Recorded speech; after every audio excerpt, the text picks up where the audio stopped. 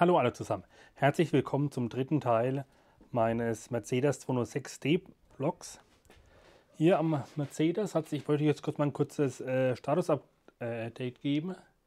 Äh, ich, wie gesagt, habe ich jetzt die Front zerlegt, den Kühler ausgebaut, äh, um besser an äh, Spritfilter, Lichtmaschine und Thermostat zu kommen. Neuen Spritfilter und Thermostat sind schon äh, bestellt. Außerdem habe ich mal die Lima ausgebaut. Und mal kurz hier die Lampe anmachen. Weiß nicht, ob man sieht. Diese Lima ist leider komplett am Ende. Die Kohlen sind komplett runtergeschliffen. Und auch innen drin die Schleifringe sind deutlich eingelaufen. Außerdem Ich weiß nicht, ob man es jetzt hört. Hört sich das Lager auch schon ziemlich fertig an. Genau, darum habe ich jetzt eine neue Lichtmaschine bestellt. Ich wollte erst äh, schauen, ob ich hier vom MB100 die Lichtmaschine einbauen kann. Da habe ich aber das große Problem, dass es hier wesentlich hänger ist. Der Rahmen vom Hanomag äh, ist enger als der vom MB100 gebaut.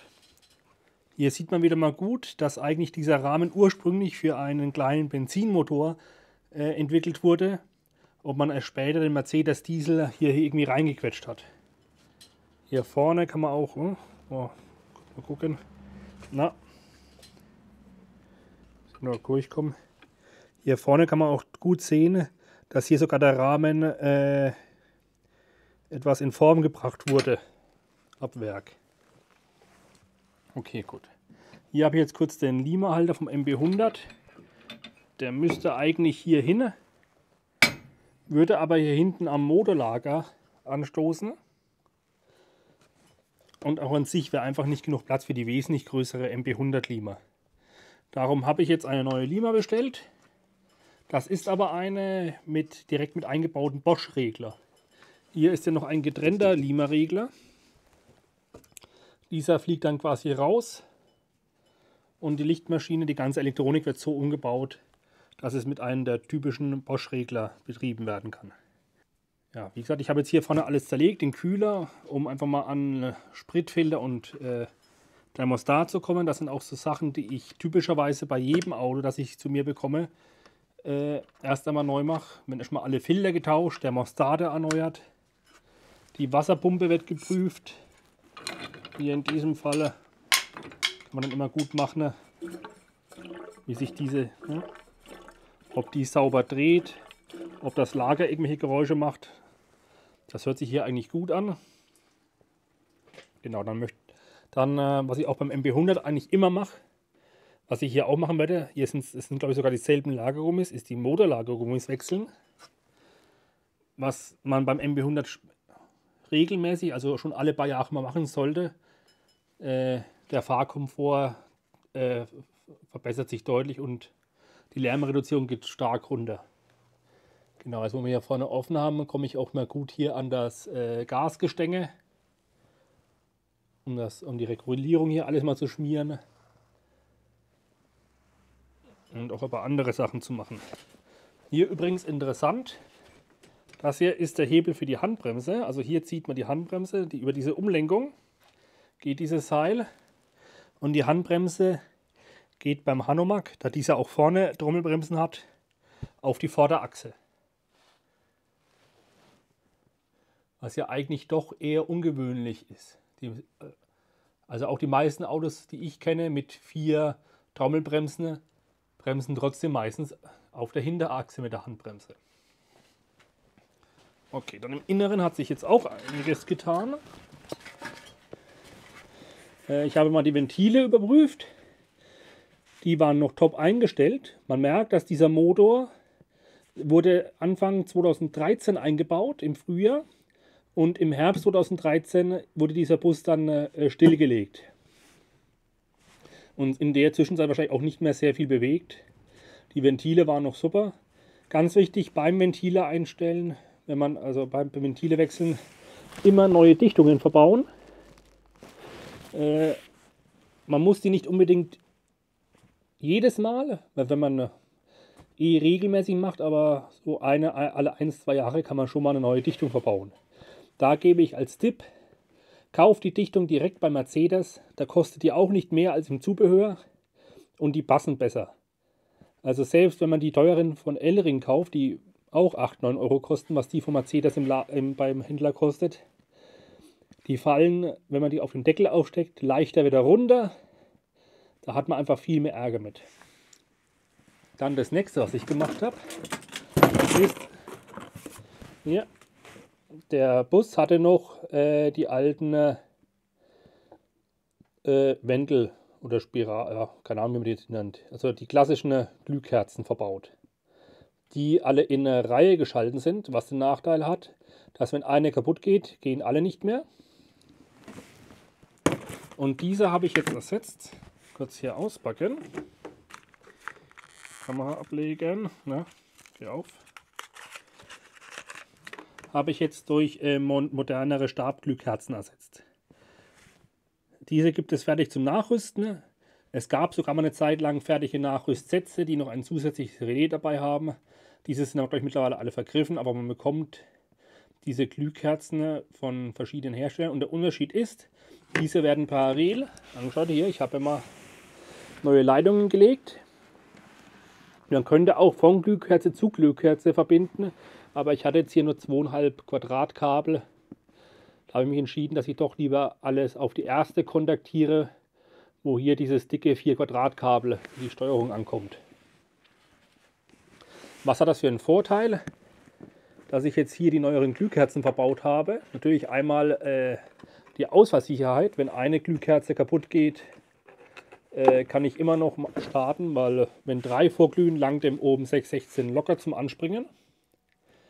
Ein anderer Vorteil äh, ist eine deutlich kürzere Vorglühzeit. Also wir reden hier von äh, 15 bis 20 Sekunden anstelle von 45 Sekunden bei sehr kalten Temperaturen. Genau, dann weitere Sachen, die ich gemacht habe. Äh, der Startschalter hat innen drin eine komplett neue Elektronik bekommen. Da habe ich einen anderen Schalter zerlegt, also den gleichen Typ, der jedoch nicht das Drahtseil, das hier zur Anschlusspumpe geht, dran hatte. Und habe quasi aus dem neuen und alten wieder einen funktionsfähigen Schalter gemacht. Übrigens für alle anderen, die das machen wollen. Ich habe jetzt für den äh, blanken Schalter ohne den Drahtzug, äh, ich glaube, knapp 35 Euro gezahlt. Mercedes hat aber nach das komplette Teil, wo der Drahtzug auch nicht dabei ist, aber die komplette Mechanik dran ist, für noch knapp 60 Euro auf Lager liegen. Also bevor ihr euch da die Mühe macht, das Ganze umzubauen, was ein fummelig war und man musste vor allem auch diesen äh, Käfig, ich weiß nicht, ob man den jetzt hier sieht, diesen Käfig, wo der Schalter drin sitzt, da aufbiegen. Äh, bevor man sich die Arbeit macht, kann man, glaube ich, auch getrost das Originalteil von Mercedes verbauen. Genau, wie gesagt, der Motor. Ich kann ihn jetzt leider gerade nicht laufen lassen, weil jetzt die Hälfte fehlt. Läuft, springt eigentlich super an, wenn er vorglüht. Das ist eines, ja, ich bin eigentlich, also ich bin einfach von der Laufruhe von diesem Motor, so gesagt, man merkt, dass dieser Motor tatsächlich wenig Kilometer gelaufen haben muss. Also wenn ich dem Händler glauben darf, wo man immer ein wenig vorsichtig sein sollte, haben wir hier einen Motor aus einem Rentnerstrich 8 äh, der sehr, sehr wenig Kilometer hatte. Ich glaube, angeblich war auf der Rechnung von 45.000 gestanden, glaube ich jetzt nicht ganz, der dann an den Enkel vererbt wurde und zwei Wochen später war der Wagen total schaden. Ich meine, solche Sachen passieren. Ob ich jetzt die geringe Lauf, Lauf, Laufleistung glaube oder nicht, das ist meine Sache. Ich weiß nur, dass dieser Motor für einen 616er gut läuft. Und mehr ist mir eigentlich auch egal, auch wenn der jetzt 200.000 oder 300.000 gelaufen hätte. Solange er gut läuft, ist doch alles okay. Genau. So ist meine Aufgaben für die nächste Woche auf jeden Fall, wo ich hoffentlich mehr Zeit habe, mich hier um den Bus zu kümmern, damit er endlich mal wieder aus der Werkstatt rauskommt.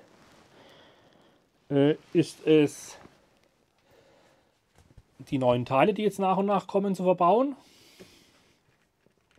die neue Lichtmaschine, die Elektronik wieder, die Heizung wird wieder eingebaut. Die habe ich ja auch komplett zerlegt, habe den äh, Lüftermotor, weiß nicht, habe ich das nicht sogar schon im letzten Vlog gesagt, den Lüfter, Lüftermotor neu geschmiert, wieder gängig gemacht, den Wärmetauscher komplett ausgespült, da kam echt ziemlich viel Siff raus. Ja, und vor allem hier Unmengen an, äh, hier liegt so überall rum, an Nüssen und dergleichen weggeräumt. Also aus dem Wagen entfernt. Diese ganzen alten Eichhörnchennester entfernt.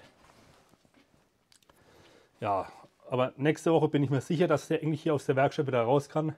Wird auch echt langsam Zeit. Ich habe auch andere Autos, um die ich mich kümmern muss. Ja, auf jeden Fall, ich freue mich sehr über das große Interesse hier an unserem guten alten Mercedes 206D. Äh, darum versuche ich jetzt auch hier regelmäßig dran zu bleiben und euch alle zwei Wochen vielleicht so in dem Schnitt ein neues Status-Update zu geben. Es wird wohl in Zukunft äh, nicht mehr ganz so viel äh, Neuerungen immer geben, da ich jetzt auch erstmal mich um andere Dinge kümmern muss. Äh, der nächste Sommer steht ja auch vor der Tür. Reise, ich muss sagen, äh, MB100 reisetauglich machen. Ich möchte im Frühjahr, fern, sofern es eigentlich möglich ist, nach Marokko fahren. Die Grenzen sind ja wieder teilweise offen. Hat noch ein paar Einschränkungen. Die warte ich jetzt darauf, dass sie jetzt noch auch noch aufgehoben werden. Dass zumindest ein bisschen ein Reisen wieder möglich ist. Aber ich werde dann, glaube ich, über den anderen Bus auch mal einen Vlog machen. Wenn euch diese Form des Videos besser also gefällt, und natürlich muss ich mich jetzt echt mal wieder um MB100 Videos kümmern. Aber jetzt, solange der Hanomag die Bühne blockiert, kann ich nicht den nächsten Bus reinholen. In meiner Garage steht noch mein äh, weißer MB100 Kastenwagen, der jetzt dringend zum TÜV musste und seine Haarabnahme bekommen soll. Jedoch ist dort der lastabhängige Bremskraftleger defekt. Ich habe ja schon ein Neuteil liegen, das möchte ich dann einbauen und möchte euch dann ein Video zeigen, wie man den lastabhängigen Bremskraftreger wechselt und vor allem, wie man ihn richtig einstellt. Gut. Also, dann bedanke ich mich auf jeden Fall fürs Zuschauen und bis zum nächsten Mal. Ade. This is the journey ahead. If you want to see more of my videos about Africa and all cars, please subscribe to my channel.